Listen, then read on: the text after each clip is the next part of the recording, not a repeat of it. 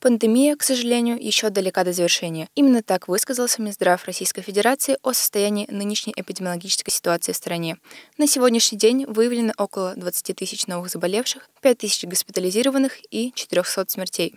Последние две недели, наоборот, рост пневмонии э, среди а, взрослого населения, пожилого населения, то, которое страдает сопутствующими заболеваниями. И все это отражается на необходимость дополнительного разворачивания коечного фонда, интенсивности работы в реанимационных наших службах.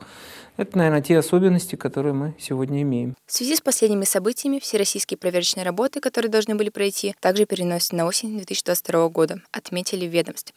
Мероприятие, в котором принимает участие очень большое количество людей, школьников и учителей. Для предотвращения очередного увеличения числа заболевших, особенно среди детей и подростков, было принято решение о переносе этой процедуры. Текущая волна, она будет вызвана новым вариантом э, коронавируса. Его пока еще называют подтипом омикрона, но на самом деле уже хотят новую букву присвоить, потому что отличия уже накопились, они достаточно существенные.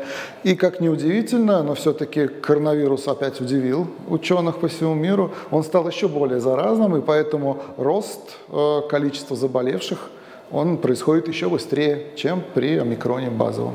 По мнению специалистов, ближайшие месяцы могут стать ключевыми для ухудшения эпидемиологической ситуации. Вспышки коронавируса в Китае и рост заболеваемости в европейских странах доказывают, что пандемия еще не закончилась. Кристина Отекина, Фарид Захитаглы, Универ News.